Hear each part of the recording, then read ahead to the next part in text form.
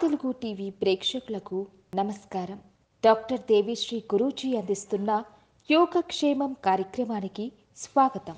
అన్నింటా శుభాలు జరగాలని కోరుకుంటూ ఈరోజు సాయంత్రం దుర్గాదేవి ముందు నెయ్యి దీపాన్ని వెలిగించి దుర్గా కవచ పారాయణ గాని దుమ్ దుర్గాయే నమః అని నూట ఎనిమిది సార్లు జపించడం కానీ చెయ్యాలి. సర్వే జన సుఖినో భవంతు.